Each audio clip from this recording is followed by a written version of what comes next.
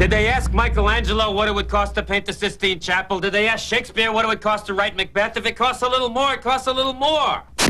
He built his dream with the mob's money. Want to be a little more specific? You just don't do that. I am talking about the single best idea I ever had. Las Vegas. What are we, Bedouins? That's Virginia Hill. Spectacular. Use your imagination. I'm using it. Let me know when you're finished. Where would you have some brewer to handle our money? No problem. Would you stop that, please? Warren Beatty, Annette Bening, You want out, you're out.